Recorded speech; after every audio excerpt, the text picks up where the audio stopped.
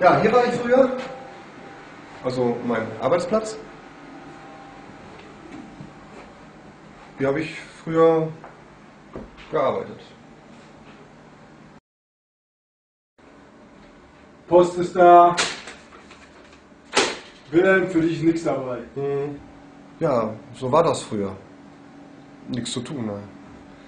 Bist du nach und nach Jeck von, ne? Sag mal, Wilhelm, wann gehst denn du in Vorruhestand?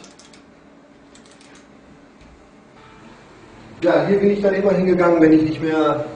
Also man will ja auch mal allein sein.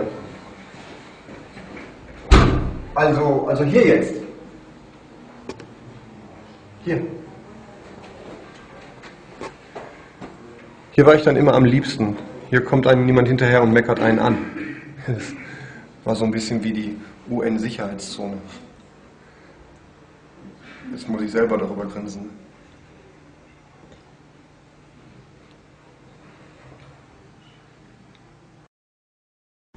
Tja, und jetzt habe ich wieder eine Aufgabe.